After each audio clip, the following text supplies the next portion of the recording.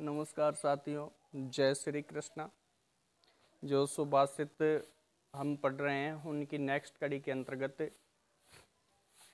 प्रिय वाक्य प्रदान सर्वे तुष्यंति जंतव तस्मात् तदेव वक्तव्यम वचने का दरिद्रता। जो सुक्ति स्वरूप है, वो आपको अंत में दिख रही होगी। जो चरण मैंने आपको बताए थे कि प्रत्येक पद्यांश में चार चरण होते हैं। और अपना जो सुक्ति स्वरूप होता है वो लगभग चतुर्थ चरण बनता है।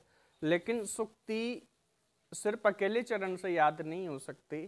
पूरे पद्यांश यानी जिस पर वो खड़ी हुई रहती है, वो आधार हमें आना चाहिए। तो देखिए, प्रिय वाक्य प्रदान प्रिय, अच्छे। वाक्य, बात या वचन। अच्छे वचन बोलने पर, प्रदान प्रदान करने पर या बोलने पर।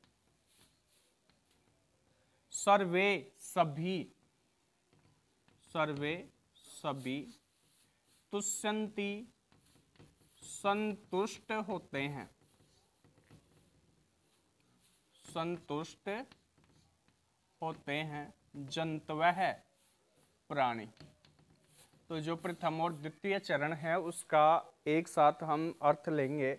तो अर्थ हो जाएगा अपना कि अच्छे वचन बोलने पर सभी प्राणी संतुष्ट होते हैं। यदि, यानी हम किसी से भी प्रेम से बात करेंगे तो वो खुश होंगे, संतुष्ट रहेंगे।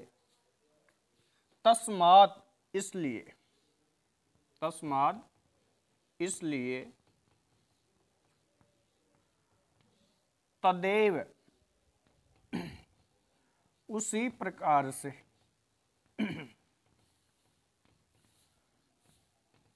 उसी प्रकार से किस प्रकार से?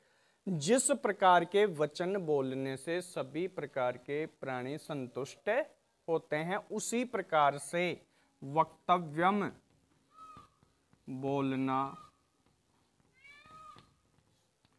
चाहिए।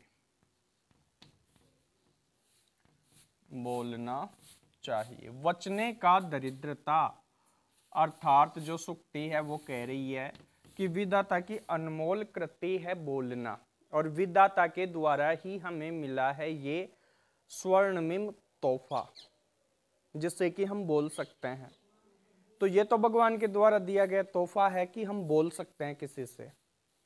और जिससे भी बोलेंगे, अच्छी प्रकार से बोलेंगे, जिनसे वो संतुष्ट हो तो हमें ऐसे वाक्य बोलना चाहिए जिससे सभी प्रकार के प्राणी संतुष्ट रहते हैं। और भगवान के द्वारा दिया गया ये जो उपहार है, उसका सही से उपयोग करना चाहिए। वचने का दरिद्रता दरिद्रता यानी कंजूसी। अर्थात, वचने बोलने में, वचने बोलने में का कैसी दरिद्रता कंजूसी?